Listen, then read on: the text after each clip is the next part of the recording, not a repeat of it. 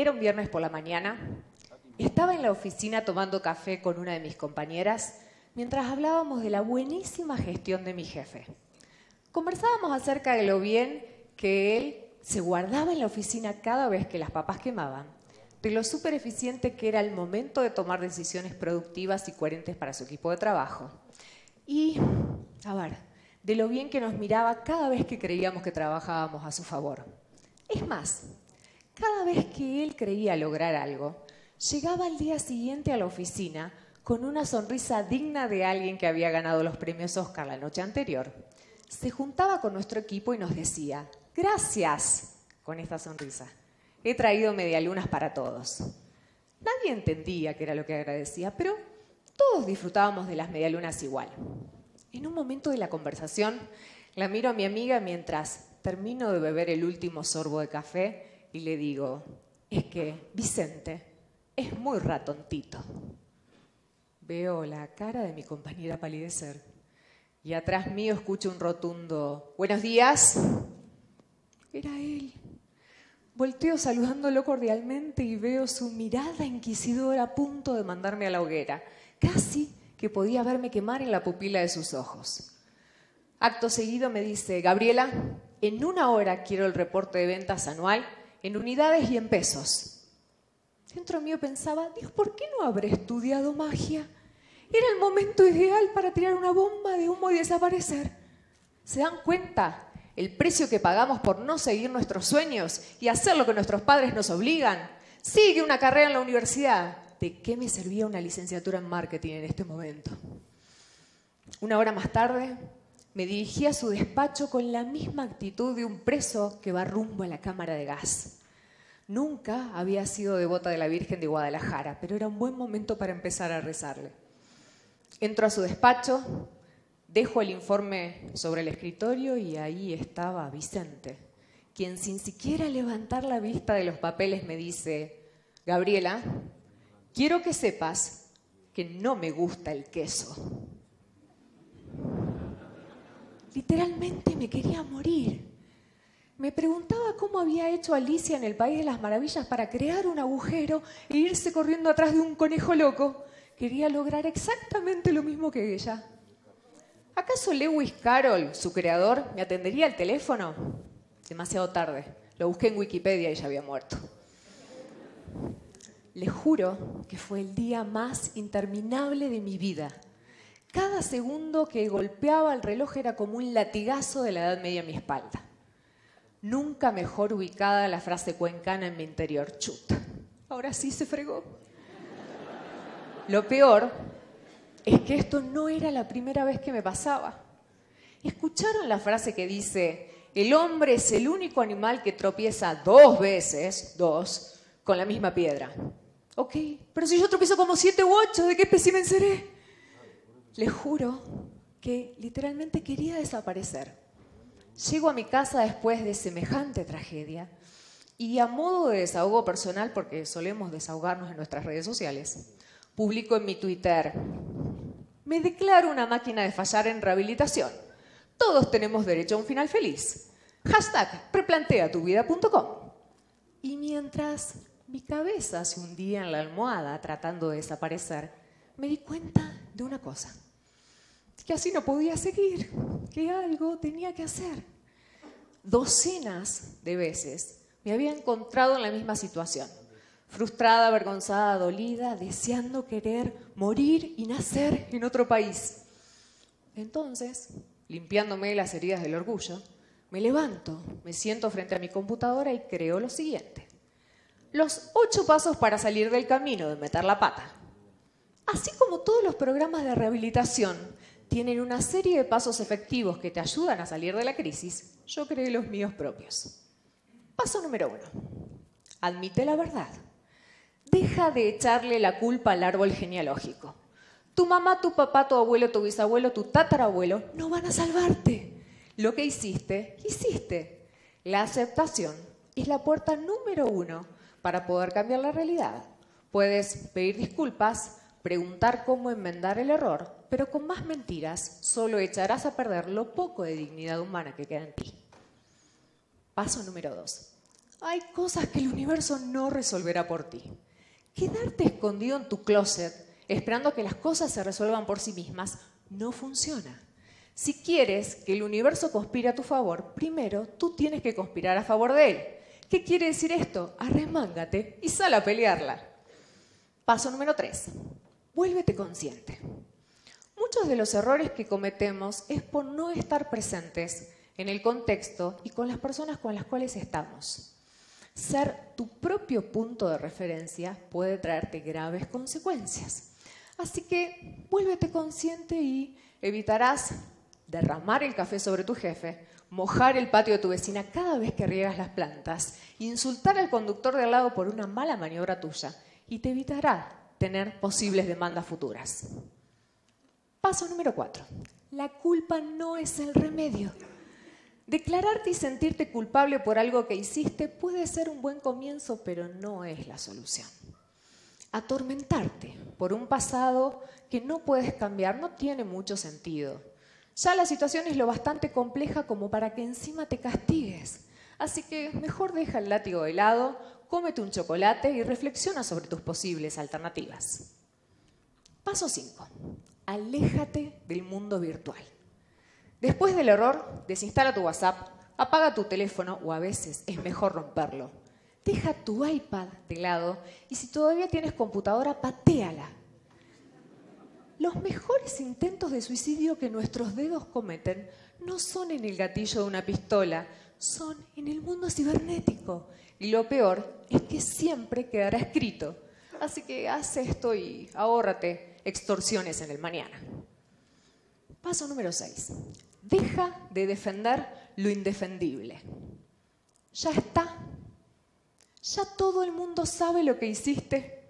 No tiene ningún sentido que trates de ocultar lo que todo el mundo ya vio. Solo vas a lograr hacer el ridículo, así que protege tu imagen social cerrando la boca o cómete un bolón. Paso número 7. Abandona la idea del verdugo. Muchas veces nos pasa que después del error suele aparecer alguien despiadado que nos pone en evidencia frente a todos los demás contando de manera graciosa lo que nosotros hicimos. Y vamos desde la vergüenza inicial hasta la furia de querer despedazar al malvado emisario. No, no, no lo sigas arruinando. No te pelees con él. Déjalo ahí nomás. Asume tu responsabilidad y listo. Paso número 8. No necesitas iluminarte. No hace falta que llegues al nirvana ni que te metas en un retiro de meditación, ni que vayas a buscar el más allá. Con que puedas ir generando conciencia de tus actos día a día. Basta. No hace falta que llegues a ser perfecto. Eso no lo vamos a alcanzar, aunque nos han hecho creer que sí. Creo que es mejor renunciar al camino de la perfección y entrar al camino de la mejora continua, así como las empresas de calidad, ¿no? Una cosa así. El problema es que nosotros vivimos en culturas donde el error es condenado, donde el error es castigado, donde equivocarse está mal. De hecho, si pudiéramos personificar al señor error, lo veríamos como un personaje horrible y hediondo, que si lo ves venir, más vale que te cruzas por la vereda de enfrente porque nadie quiere juntarse con él. Así que nos pasaba esto, ¿no?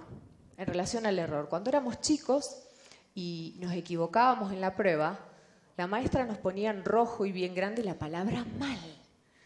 Cuando hacíamos algo que no era correcto en nuestras casas, nuestros padres nos ponían en penitencia, nos apagaban la tele, nos quitaban los postres y nos sacaban los videojuegos justo cuando estabas en la final de Mortal Kombat o a punto de darle la vuelta al Super Mario Bros. 3. Déjame decirte, a vos como padre, es indignante lo que haces si mejor que nadie sabes la cantidad de horas que pasamos frente a ese videojuego. Si tu vocecita nos taladraba la cabeza diciendo, apaga eso una vez todo el día con esa porquería, para que lo arruines justo en el final. Y está demostrado científicamente que de adultos seguimos repitiendo exactamente lo mismo. Quizás ya no hay un otro que me rete, pero nuestro propio paradigma se encarga muy bien de autocastigarnos, haciéndonos sentir no merecedores de algo bueno y trayendo a nuestra mente una y otra vez el episodio en el cual lo arruinamos todo. Sin embargo, después del error, decimos, bueno, algo aprendí, esto me sirvió y entro en el camino del perdón y saco a jugar a mi niño interno y suelto la experiencia cual globo de helio al aire, tal como indican todos los libros de autoayuda. Pero internamente seguimos padeciendo la situación, deseando no volver a caer ahí nunca más.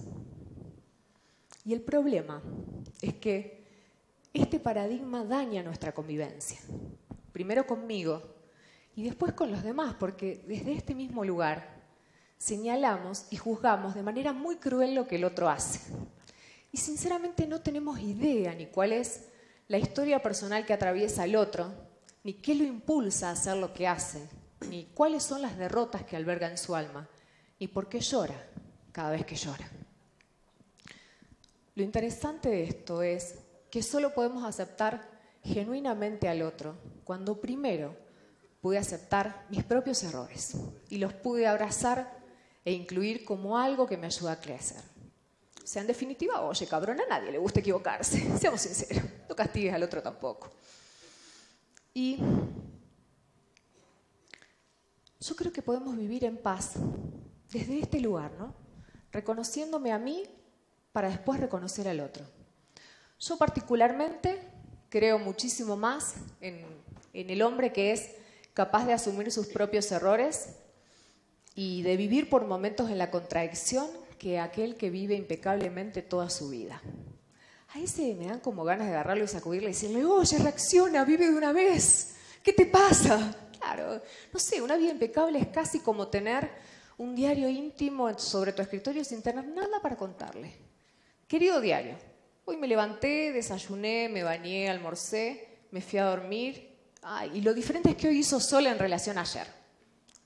¿no?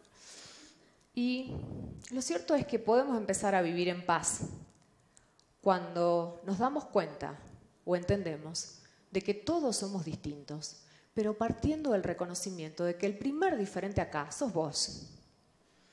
Así que, a ver, la invitación es, es a que empieces a jugar sobre esto, a que te empieces a animar a vivir la vida desde otro lugar, no sé, la vida para mí no es sentarme a ver lo que el otro hace. ¿Qué tiene que ver? ¿Qué tiene que ver lo que el otro hace? Si en definitiva, tengo una excelente noticia para darte. Te vas a morir. Sí, te vas a morir. Claro, te vas a morir. Y a nadie le va a importar. O sea, Sí, capaz que a algunos le importen, pero esos que le importen también se van a morir, o sea que en definitiva ni cuenta. Y algunos te van a llorar más, otros te van a llorar menos, y si creaste una fortuna, muchos van a estar esperando que ya te vayas de una vez. Oye, tanto tienes que vivir, ¿no? Ya vete. Así que vive la vida, y para vivir la vida necesitas embarrarte, como cuando eras chico y jugabas a la lucha libre en el lodo con tu mejor amigo que en ese momento se transformaba en tu peor enemigo, porque bien que querías verle la carita comiéndose la tierra. Así que te invito a que tomes tu propio diario íntimo, un cuaderno o donde quieras escribir. Diga la antigua, porque todavía pienso que la gente escribe a mano. Lo, donde quieras. El punto es que elijas escribir tu propia historia. Y que si alguien osa robarte los derechos de autor, ríete y disfruta porque en cada célula tuya vive esa historia para ser contada. Vive en paz con tus errores, pero con la conciencia puesta en ser hoy mejor de lo que fuiste ayer. Y si te vuelves a equivocar, no pasa nada. Busca esta charla en YouTube y dale play una vez más.